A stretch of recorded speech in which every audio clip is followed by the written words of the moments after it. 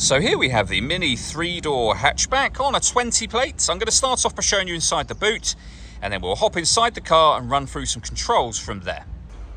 As we approach the back of the car, you can see we have reversing sensors, plenty of boot space as well, along with that 60-40 split folding rear seat should you wish to increase this space even further. Uh, this tray section then lifts, stores away there to give you even more space again. Okay, now that we're inside the car, we're going to start with the dials. Over on the left-hand side, we have the rev counter, we have the speedometer in the middle and the fuel gauge on the right-hand side.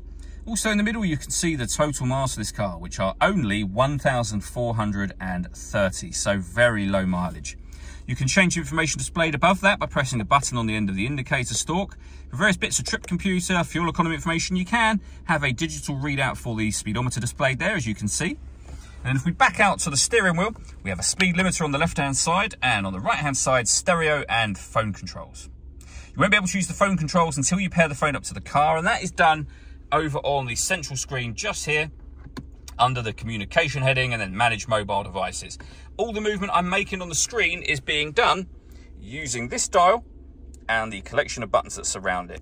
You can do virtually everything from here though. So for example, if you want to access your music, rotate the dial to media and radio, push it down, you're then in that menu. You can rotate it for DAB and FM radio. Bluetooth audio, so you can stream your music wirelessly once you paired your phone, and USB input as well. You can even pair your phone from that menu if you wish to. And then the other menus are your car settings, as you can see, and then back around to that beginning bit again. With the main volume for the stereo just there. Beneath that, we have dual zone climate control. So you can adjust the driver and passenger temperature. You can increase and decrease the fan speed from here. You can determine what direction you'd like the air to be distributed in.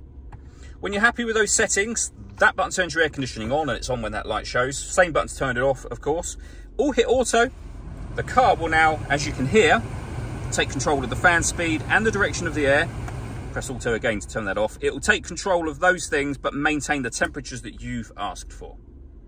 We've got a heated driver seat and a heated passenger seat, both with three separate heat settings on each. Beneath that, we can turn our parking sensors on and off. We can turn off our stop and start. This car is designed to cut out when it's stationary in traffic to save you fuel. That system is off when that light shows. This button starts and stops the engine and you can turn off your traction control over on the right hand side just there. We have a 12 volt charging socket and USB input and then your six speed manual gearbox. All that leaves me to say is thank you for taking the time to watch this video. If you'd like to come and see the car in person and have a test drive, please feel free to call either of our MJA sites. We'd love to hear from you soon.